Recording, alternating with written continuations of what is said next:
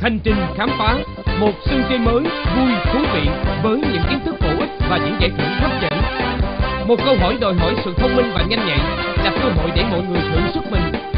Bất cứ bạn là ai, ở đâu, hãy tham gia trả lời trực tiếp hai câu hỏi của chương trình bằng cách gọi điện thoại đến tổng đài 1900 561 555 nhấn phím 1 hoặc gửi tin nhắn với cú pháp HTKP và gửi đến số 8551.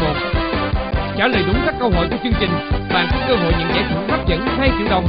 Hãy đến với sân chơi Hành trình khám phá, hành trình vào kho tàng tri thức. Truyền hình trực tiếp trên sóng VTV Đà Nẵng vào 20 giờ chủ nhật hàng tuần.